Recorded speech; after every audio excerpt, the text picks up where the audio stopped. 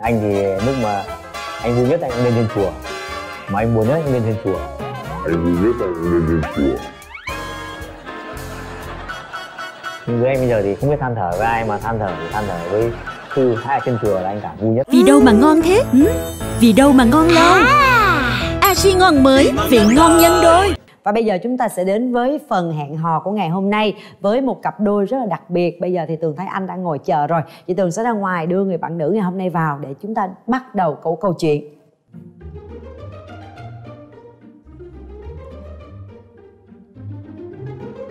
Rồi, ghế bên trái. Rồi ngồi xuống chị. Rồi mời hai anh chị mở mặt nạ ra.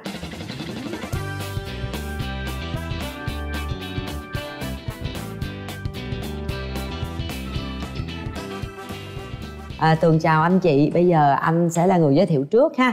xin uh, chào uh, cô Cát Tường xin Dạ. chào uh, ban biên tập xin chào uh, Hoàng Hải bên kia tôi là Nguyễn Ngọc Quý sinh năm 1959 quê Bắc Giang tức là nghề nghiệp thì uh, chế Dạ. nông sản tức là ngành gỗ À dạ, thích uh, đi du lịch thích uh, đi phượt hiện tại anh đang sống ở đâu? hiện tại đang sống thì uh, đang làm ở ngoài Hà Nội Thế là hôm nay bay vào đây quay chương trình thôi. dạ trước kia là mình là người đóng quân ở trong quân đoàn 4 này. À, thế là mình vẫn có cơ sở trong chỗ dưới Di An ấy. À. thế là mình ra ngoài quê sinh sống ờ, lập nghiệp ngoài đó nhưng mà chuyện ờ, gia đình nó đổ bể. Thế như rủi như ví dụ nha, cái người bạn đời của anh ở trong thành phố và muốn anh vào trong này ở thì anh có vào được không? ở đâu không quan trọng bởi vì con mình lớn rồi. Dạ. con mình lớn hết rồi là ở đâu thì ở nhưng quan trọng nhất là có một tiếng nói chung và có tình thương. Bây giờ mời chị giới thiệu ạ. Dạ, kính chào ban biên tập, kính chào ờ, MC Cát Tường. Tôi tên là Quỳnh Thị Sương, sinh năm 1963 ở Long Điền, Bà Rịa, Vũng Tàu. Dạ. Hiện tại chị có đang làm công việc gì không? Là như mình cũng đi phụ cho xây dựng. Phụ xây dựng. Trời ơi mà da dẻ mịn o mà đi làm ra ngoài công trình mà mà da dẻ mịn o lắng cón vậy. Cũng làm để phụ thêm thôi. Thế chị nghĩ rằng thường thường trong cuộc sống hay là trong cái con người của mình sống bao nhiêu lâu thì mình thấy là mình có những cái điểm mạnh gì và những cái điểm yếu gì? Thì ờ, thẳng tính, Thẳng tính. hòa đồng, Dạ. ờ, trung tình. Trung tình. Còn ờ, điểm yếu thì như là mình thấy mình nghèo.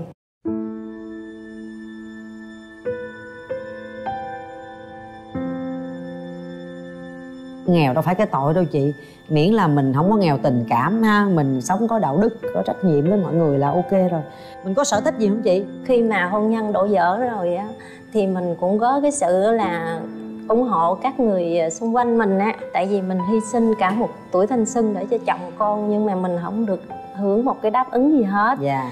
Thì bắt đầu lúc đó thì chị em mới kêu mình đi tham gia vô câu lạc bộ. Vui là hát hát là vui vậy. Vui là hát hát là vui. Bây giờ em muốn vui.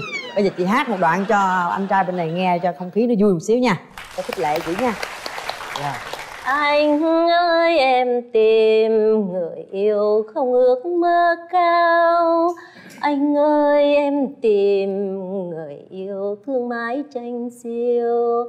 Mai đây cho dù rằng đời góc bé chân trời, cuộc đời bao táp phong ba suốt đời có nhau bên mình mai đây cho dù rằng đời gấp bế chân trời, cuộc đời bao táp phong ba suốt đời có nhau bên mình.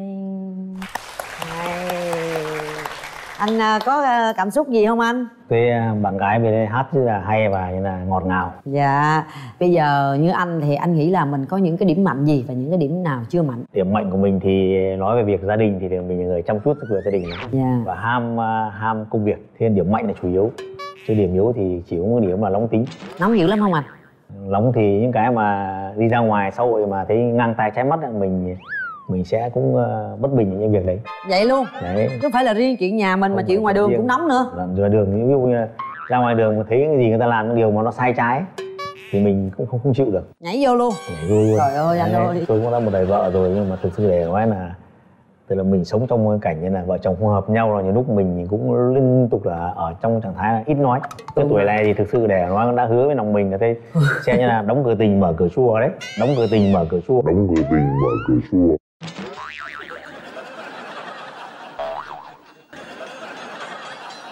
nhưng vì cô con gái cô cũng ờ, thúc giục nhiều quá. Con gái đăng ký cho mình thì mình cũng vào đây. Con gái đăng ký. Thế là anh à, hiện tại là anh có mấy cháu rồi anh? Mình thì được à, hai cháu một à, cháu gái thì sinh năm 1988 cháu đang làm giáo viên. Cháu thứ hai thì chắc là làm cho mấy công ty quảng cáo là ngoài Hà Nội. Hôn nhân của anh thì tại sao là đổ vỡ mà đổ vỡ bao lâu rồi? lúc còn trẻ thì mình thực sự để nói là mình cũng chỉ à, lo lắng công việc là làm ăn để cho con gái nó trưởng thành. Chứ không để ý về chú trọng về cái việc vợ chồng không hợp nhau lắm. À. thì thôi thì năm bỏ ba chín bỏ làm 10 để cho con cái nó có bố có mẹ. Thế nhưng mà thực tế để nói thì cũng cố níu kéo mãi không được thì cô ấy làm đơn cô ấy ra tòa cô ấy chia tay. À. bao lâu rồi anh? Chia tay thì nếu mà để ly thân gì là 6 năm rồi mà chia tay 2 năm nữa là gọi là 8 năm rồi. Mà lớn tuổi rồi mà không ráng được hả anh? Cố gắng lắm rồi không được. Nó nhiều lý do mà chuyện đấy giờ cũng giờ chia tay nhau rồi không nói được cái chuyện người, người ta đẹp với người ta tốt hay người xấu mình không nói được. Chỉ biết thôi nó đến cái duyên đến lúc đây là không còn nữa thì thôi chia tay nhau chứ giờ nói của người ta có cái tật lọ tật kia thì mình chẳng nói. Mình là con ờ, lợn mà bà nói là tuổi hùng thế mà thuyết thi tâm mình nói thì thịt lợn thì là để là, là nguồn ăn nguồn thực phẩm chính của con con hùm nên là may mình không chết nên là đến hiện giờ mới sống phút này thì mới lại ngồi đây. Chị tuổi con gì vậy chị? Rồi, mèo. Thì được không anh? Ờ, mão thì mình cũng rất hợp với tuổi mão. Này hai con này đâu có ăn nhau đâu đúng không anh? Hợp tuổi mão vì Dạ, mình vâng. cũng ờ, hay làm với những người tuổi mão dạ. Chứ còn chị cái chuyện hôn nhân của chị hồi nãy chị cũng có chia sẻ đó là như thế nào ạ? Chị chia tay bao lâu rồi? Gãy đổ bao lâu? Chung thì ờ, kéo dài thì cũng cách cũng khoảng chừng gần chục năm. Gần chục năm. Ấy con chị là mấy con à mấy cháu? bốn đứa. Ông đã kết hôn với người ta là hai lẻ tám. Mình phát hiện ra luôn rồi. Ủa là sao? Mình cũng cực khổ rồi. Không có điều kiện với cái thời điểm đó là in hình như là lấy nhau không có kết hôn. Dạ. Ờ, từ chỗ đó khi mà ông cứ làm ăn mình ở nhà nuôi con á rồi ông cứ ông đi làm ăn xa hả? Ông đi lên thành phố làm ăn xa rồi à, cái ông cứ lừa mình không mà ông nói à, cuối cùng là ông đi kết hôn với người ta thì mình đâu có biết. Khi trời là lúc đó là đã bốn đứa con rồi. Rồi chị chấm dứt luôn. Và bốn đứa con mấy đứa con nó cũng ủng hộ luôn. Bao nhiêu tuổi rồi? Năm nay là À, bao nhiêu bao nhiêu út là út này là à, hai chín ba là út còn lớn nhất út là còn bao lớn nhất á là tám ba. Ba đứa đã có gia đình còn út nó cũng chưa có gia đình nó cũng đi làm là út đang ở với mẹ là giờ hai mẹ con. Dạ dạ. Khi mà mình phát hiện ra như vậy rồi á mình cũng trên bờ dưới ruộng lắm. Dạ. Giờ mình cũng người ta cũng nói mình rồi mình cũng đi đến luật sư rồi luật sư có nhiều chị nữ á. Chị khuyên mình á là bây giờ á đã chồng mình như vậy rồi là mình không có còn tiếc nuối nữa. Thế thì bây giờ chị muốn mong muốn tìm một cái người bạn đời của mình là người như thế nào? Như chị chị không có đòi hỏi gì cao hết trơn á. Chị muốn như á bây giờ con nó không ở cần kề với mình. Khi á, đêm hôm bệnh đau mình không có người để chia sẻ. Thì giờ mình muốn đã có người đó là như là bạn vừa tri âm cũng có tình có nghĩa. Khi mà anh ấy thì bệnh đau thì có mình. À, mình bệnh đau có anh ấy. Dạ kiếm một người. Nếu mà đồng cùng cảnh ngộ như chị hiểu như chị hai bên để mình dựa nhau mình trước sống mắt là em thấy về hoàn cảnh thì hai anh chị cũng đồng cảm được với nhau đó. Ví dụ như bây giờ chị phải ờ, đi ra bắc ở với ảnh thì chị đi không? Đi chứ. Chứ giờ đâu có vướng bận gì nữa đâu ha con cái bận. lớn hết nói rồi. chung là bây giờ mình chỉ cần có người kề cận để mình chia sẻ. Tại vì giờ cái quỹ thời gian của mình nó không còn bao nhiêu nó cũng cạn dần rồi, rồi em hiểu được cái tâm lý của chị rồi thế còn à, anh ạ giờ anh mong muốn tìm một cái người bạn đời chia sẻ với mình sau này là người như thế nào?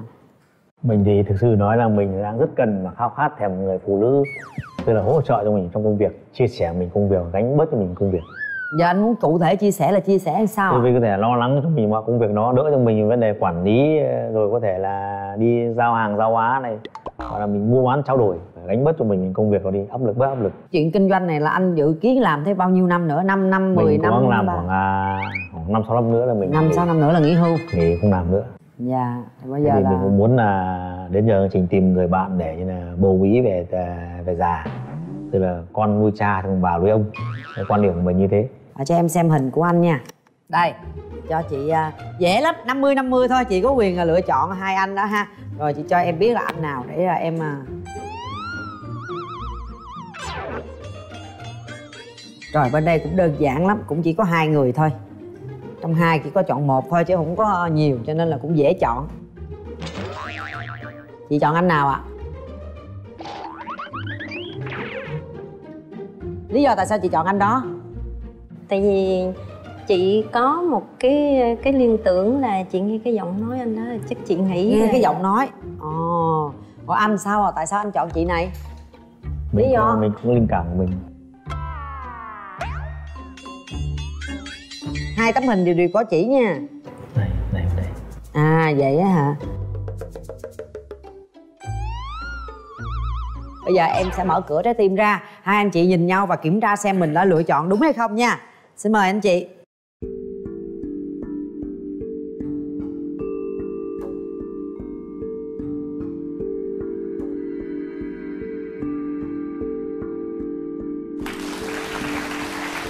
Đây anh không phải. Thế thì anh linh cảm của anh là không chính xác. Đây, đúng rồi. Đó nhưng mà chị này với chị này mới đúng chứ. Đây mình như này người này. À nhưng mà thật ra là chị này với chị này mới đúng là một nè. Anh qua trái tim luôn được hả lần đầu tiên được à, gặp em ở chương trình đây là xin à, tặng em bó hoa. Rất hạnh được làm quen với em. Dạ Cả- em cảm ơn anh. Thì em đến đây cũng em cũng có món quà để gửi tặng anh. Với một ờ, xin à, mấy câu thơ theo Dạ, lời nói của em luôn. Xin cảm ơn. Em cũng xin anh mở hộp và đọc câu thơ. Rồi. Giờ cô dạ Tường rồi ngồi ngồi xuống đi em đọc cho ạ. Dạ, đây là nước củ gừng. Muối gừng. Vâng đúng rồi. Tức là mình sẽ nghĩ rằng là gừng càng già càng cay. Dạ gừng cay muối mặn xin đừng quên nhau. Rồi à rồi em xin đọc cho anh nghe bốn câu thơ của chị gửi ra anh nha. Hôm nay em đến chương trình gặp anh chỉ để ghép tình uyên ương. Hình hình bóng bóng vấn vương tơ vương một mối yêu thương trọn đời. Dạ. Rất là ý nghĩa có một cái gợi gắm của cổ là gừng cay muối mặn xin đừng quên nhau ha. Thế một người phụ nữ như em là nuôi mấy đứa con là cũng vất vả trong vấn đề chăm sóc các con cái nên là cũng không được à, may mắn như người khác. Dạ. Đấy. thế hôm nay đến đây là đến à, chương trình thì à, nhờ chương trình này để xe duyên cho anh và em.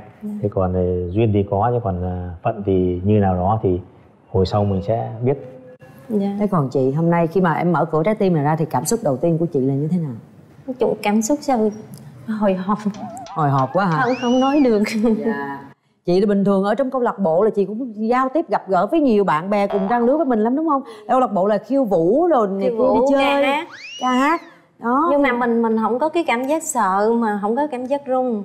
Trời ơi anh đâu làm hay. gì chị đâu mà chị sợ.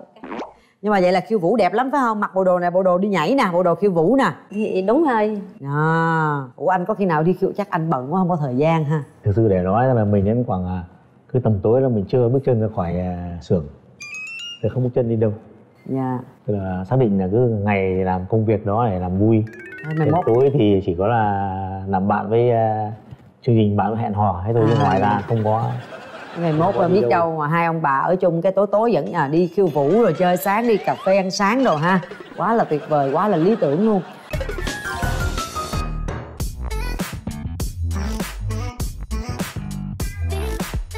Bây giờ các tường xin mời hai anh chị sẽ đến với một món ăn rất là đặc biệt đó là món ờ, gỏi miếng tôm mực.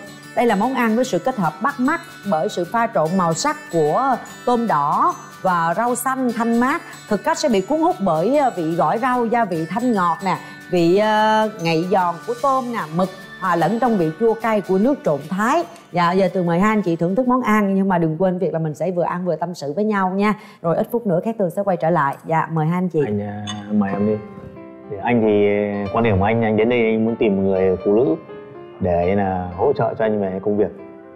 Thì công việc của anh thì là anh về làm cái gỗ ra để làm cái ván độn để thành ép ép một tấm ván ấy. Rất cần một người phụ nữ ở đó. Dạ. Thì không biết rằng là cái công việc của em đi làm tạp vụ thế thì có hợp với công việc của anh không? Em mà làm rồi thì em sẽ thích anh thì quan điểm của con cái ấy, thì bây giờ thực sự đến cái tuổi này thì mình không nghĩ rằng là mình sẽ sinh con đẻ cái được nữa Dạ. mình chỉ cần người bạn để bầu bí mình thôi. Thì bây giờ em đến đây rồi em cũng nói với anh đó là mình cũng muốn tìm người để mà mình kết bạn chứ không phải là mình đến để rồi mình nói cho nó qua câu chuyện. Ở đây mình không có thể nói nhiều được. Thì thôi bây giờ em với anh có duyên đến đây rồi mình cho nhau cơ hội. Mình bấm nút đi còn những chuyện còn lại thì mình nói tiếp. Đấy anh nói em đấy nhưng anh cảm nhận được vì em là người phụ nữ vất vả anh thực sự rất trân trọng người phụ nữ mà đã trải qua những sự đổ vỡ mà có bản lĩnh ờ, để như là đứng ờ, dậy mà nuôi ờ, mấy đứa con trưởng thành. Dạ. Cái số của mình nó không có được may mắn như mọi người khác thì mình phải đành chấp nhận. Chứ em cũng buồn lắm chứ sao? Có vẻ nhưng mà mình em buồn đâu anh thế chứ. Anh cũng mặc cảm chứ. Nếu anh là người đàn ông mà mà để mà anh tự đứng ra để anh bỏ vợ thì nó là một nhã khác dạ. Nhưng anh thì để vợ anh nó bỏ anh thì đâm ra anh cũng mặc cảm. Nên nhiều khi thực sự nói là cũng không muốn về quê. Nhưng mà thực sự đến giờ phút này thì gia đình đổ bể rồi đâm ra mình cũng muốn đi tìm một người bạn. Bây giờ chủ yếu là kiếm cái người hữu hỷ sớm tối rồi bệnh hoạn ho hen có à, bà nấu cho tô cháo rồi là thí dụ vậy ông sức cho miếng dầu đó là cái cái mình cần thôi. Chăm sóc hay là hỗ trợ người đàn ông thì em là rất là là là biết cách không anh biết anh nhìn em anh biết mà vì em là người phụ nữ đã ờ, vất vả nuôi bốn đứa con thì anh nghĩ em là người cũng vất vả và em biết tất cả kinh nghiệm trong cuộc sống về kinh nghiệm chăm sóc người bạn đời em nghĩ là em thừa kinh nghiệm. Thế thì anh chỉ nói với em rằng là thời gian đây thì nó ít không có thể nói là nhiều. Dạ. Thế anh mong muốn rằng là giữa anh em mình cũng ờ, tạo điều kiện cho nhau một cơ hội kể cả em bấm hay không bấm nhưng Dạ. mình vẫn sẽ tạo cho nhau một điều cơ hội. Chỉ mơ nhất là sau này anh nếu anh có một người bạn tri kỷ sau này anh muốn hai vợ chồng đi ô tô đi phượt từ bắc vào nam từ nam vào bắc. Rồi sao đi nổi anh? Anh đi anh vẫn mình vẫn đi ô tô từ ngoài vào đây được À, mà. anh Trước lái kia xe. thì à, mình làm ở dưới đồng tháp và cửa dính bà ấy. Thế là mình mới đi xe ô tô từ ngoài bắc vô đây. Đi một mình đi hai ngày rưỡi. Dạ vậy cái này anh phải ngày làm. đi thì là đêm ngủ xong ngày là đi hai ngày rưỡi mà đây. mà anh nói như vậy anh cũng có cùng chung suy nghĩ với em. Em Vậy cũng luôn mơ hả? ước như vậy nhưng mà tại vì hoàn cảnh mình nó cũng nghèo quá mình mình cũng mơ ước mà mình mơ ước vậy thôi chứ mình đâu nhiều có khi biết. ước mơ chỉ là mơ ước ha. Rồi hy vọng là hôm nay ước mơ của anh chị ha là sẽ được thực hiện. À, bây giờ em sẽ có mấy cái à, yêu cầu của chương trình. Em mời hai anh chị bóc để mà thực hiện những cái yêu cầu ở trong này. Các tư giờ à, mà các không có tình đọc kiến. ủa sao vậy? À không có đem kiến ai cũng không đọc được hết trơn. Hãy cùng nhau nhảy một điệu nhảy vui vẻ hoặc lãng mạn. Dạ cái này là trúng gu của chị rồi. Ảnh chắc không biết nhảy rồi bây giờ chị qua chị dìu ảnh thôi chứ giờ sao đúng không ạ? Mà mà anh cho em nói một chút rồi mình mới thể hiện. Rồi. Ví dụ như sau này á, mà anh với em cùng nhau đến với nhau rồi á thì em thích hát là vui vui là hát. Ví dụ như hàng tuần á có thể anh đưa em đến tụ điểm đó để mình ví dụ anh không biết hát á thì anh đưa em đi đến đó anh ngồi thưởng thức rồi em lên em hát rồi em về. Trời ơi. có được không? Không cái đấy anh đồng ý rồi anh thì thực sự nói với em này. Anh thì à, cái cuộc sống à, gia đình nó nó không được à, vui vẻ. Nên nhiều khi anh à, sống trong môi trường nào nó âm thầm nó, nó yên tĩnh. Bây giờ mình thay đổi. ồn ào. Bây giờ mình thay đổi đi bây giờ nếu mà thay đổi được cái môi trường sống đó là cả một cái điều là phải như là rất dũng cảm. Thế nhưng thôi thì cuộc sống vẫn buộc phải mình ở đâu mới theo đấy chứ mình không thể nói rằng là mình cứ ờ, ở trên chùa mãi được. Dạ bây giờ đã xuống núi rồi. Thì trước kia em khổ lắm em chỉ lam lụ biết đi làm gì rồi chỉ lo chồng lo con thôi em không biết gì hết. Sau khi đổ vỡ rồi á em mới cảm nhận được là khi mình đi tham gia câu lạc bộ mình thấy tới đó nó vui rồi nó thoải mái. Mình hoài giờ làm việc thì mình chỉ có đam mê nhiêu đó thôi. Anh thì lúc mà anh vui nhất anh cũng lên trên chùa. Mà anh buồn nhất anh cũng lên trên chùa. Anh vui nhất anh lên trên chùa Mà anh buồn nhất lên trên chùa. Bởi vì lúc ngày xưa mẹ anh còn sống thì lấy mẹ anh ra để mọi người than thở như là gọi kêu ca. Nhưng với anh bây giờ thì không biết than thở với ai mà than thở thì than thở với sư thái ở trên chùa là anh cảm vui nhất. Hai nữa là cái công việc của anh chỗ xưởng gỗ của anh thì có mấy cái ngôi mộ ấy. thì đêm đêm sáng trăng buồn mình hay ra mình nói chuyện với các cụ đấy. Buồn mình hay ra mình nói chuyện với các cụ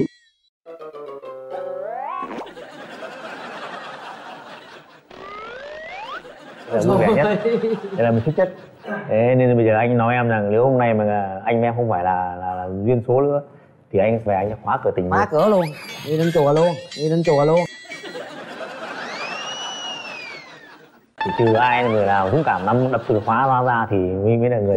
Vậy như hôm nay em đến đây rồi em có thể em khóa cửa đó ra Còn cái đó tùy em đón anh được không? Để xem. Thế là do quyền của em. Dạ. thế nhưng anh chỉ nói em rằng hôm nay mình đến đây mình cho nhau một cái, cái cơ hội đi. Dạ. Thế còn à, bấm hay không bấm thì mình vẫn sẽ là bạn của nhau. Dạ. Đấy anh quan điểm anh thế. Rồi bây giờ mời hai anh chị thực hiện yêu cầu của chương trình. Rồi mời anh chị qua đây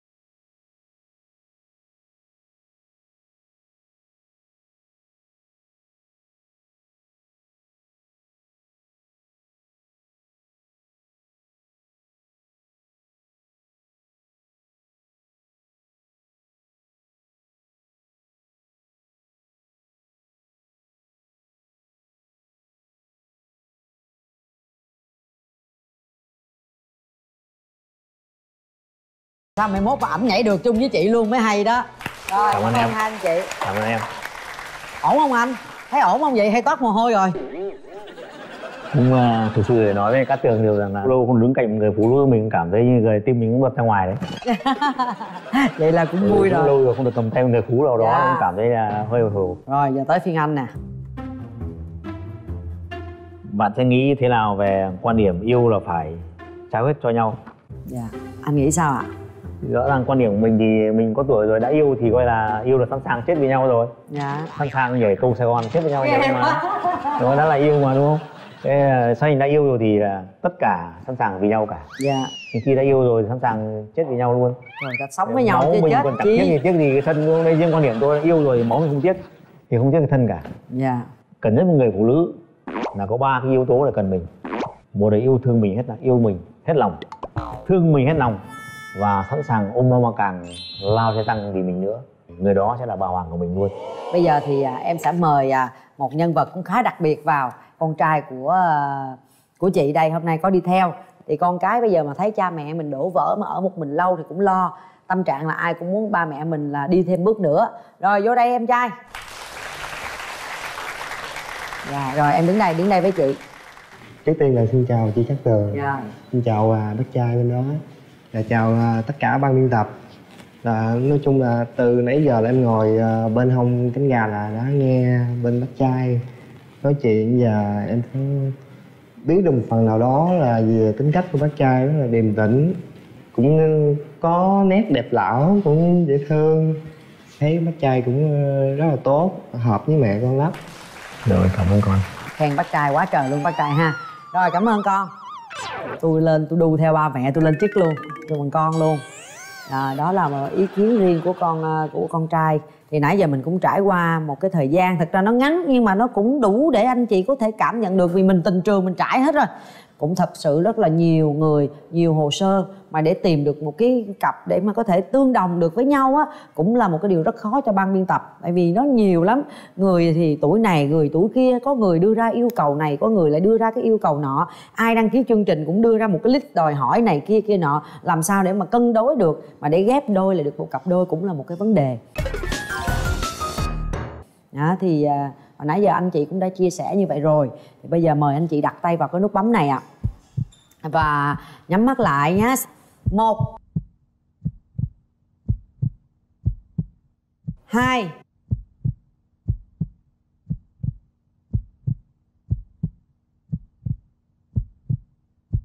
ba. Hết thời gian.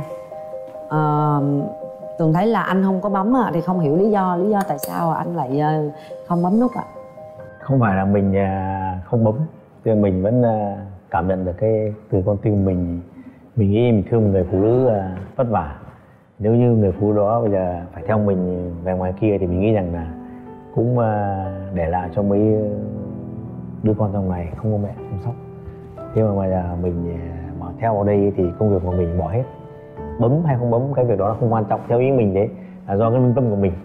Cái tâm của mình để mình cảm nhận được. Thì là sau chương trình này mình cũng sẽ ờ, xin lại cái số điện thoại này mình sẽ trực tiếp để nói chuyện mà nếu cảm nhận được cái, cái tình cảm đó thì mình sẽ tự vận động. Dạ cảm ơn anh chị ạ, mời hai anh chị đứng lên đây Hơi buồn một chút vì mình đã không có làm tròn trách nhiệm mai mối của mình. Nhưng mà giống như tiêu chí của chương trình á Là những người tham gia chương trình họ có quyền làm theo cảm xúc của mình. Bởi vì ờ, trái tim mình mách bảo, cảm xúc mình mách bảo như thế nào Thì mình đưa ra quyết định như thế vậy, như thế đó. Đó mới chính là tôn trọng bản thân và tôn trọng đối phương. À, Thì à, mặc dù anh chị không bấm nút ở đây Nhưng mà Tường cũng xin chúc hai anh chị là thứ nhất là được nhiều sức khỏe.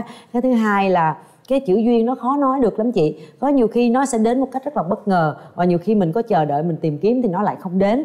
Thì tường sẽ chúc cho chị nhiều sức khỏe và hy vọng một ngày gần đây sớm thôi, chị cũng sẽ tìm được một cái nửa yêu thương của mình để chăm sóc bầu bạn sớm chiều nha cảm ơn chị đã tham gia với chương trình. Và anh cũng vậy ạ tường cũng chúc anh được nhiều sức khỏe và hy vọng anh cũng sẽ tìm được cái người mà giống như cái cái cái mong muốn của anh ạ. À. các tường xin thay mặt chương trình gửi tặng cho chị một phần quà. Phần quà là bộ son Yurika đến từ Nhật Bản với chất son lì không chì mang nhiều màu sắc trẻ trung phù hợp với mọi cá tính sẽ giúp cho bạn tự tin nổi bật trong mọi ánh nhìn. Thời lượng phát sóng của chương trình đã hết ra các